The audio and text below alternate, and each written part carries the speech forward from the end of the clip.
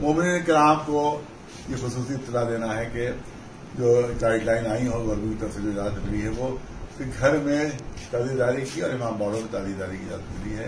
घर में सिर्फ़ घर के लोग शरीक होंगे, बाहर तो नहीं आएँगे और इमाम बाड़ों में सिर्फ़ पाँच आदमी की लड़की मस्जिद होगी तो पाँच से ज़्यादा नहीं होगी। और फरमाब में जितना बड़ा मजमा आता है, एक लाख, वहाँ भी वक्त पाँच आदमी जो है ज़िक्र शहदा का कर रहे हैं। इसी तरह से बाहर जुलूस निकालने की कोई इजाज़त नहीं है। इसी ताजिए बाहर इमाम चौक पर यह रखने की इजाज़त नहीं है। ताजियों के तर्ज के सिलसिले में हमारी बातचीत चल रही है और इंशाल्लाह कोई ना कोई रास्ता का और कोई ना कोई इसका सभी निकल आएगी इंशाल्लाह।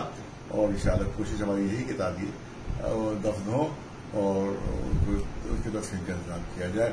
लिहाजा इस बात में एहतियात करें कि घरों में जो मजलिस हो तो बाहर के लोग न बुलाए जाए। मामूलों जो मजलिस हो, उसमें पाँच से ज़्यादा न हो।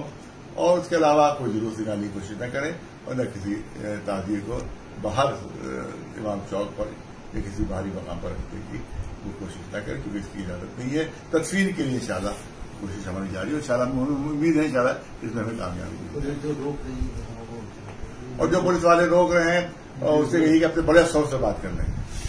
बड़े अफसरों से बात करें क्योंकि ऑर्डर जो है योगी जी का या किसी का वो हर हर कानून सिविल को थोड़े दिया जाता है। हर प्रचार तो बड़े अफसरों तक पहुँच जाता है। अगर कोई रोके टोके तो उससे कहें कि आप क्या बड़े अफसर से बात कर लें, क्योंकि इजाज़त घरों में रखने की वहाँ बड़ों में रखने की मिल चुकी है।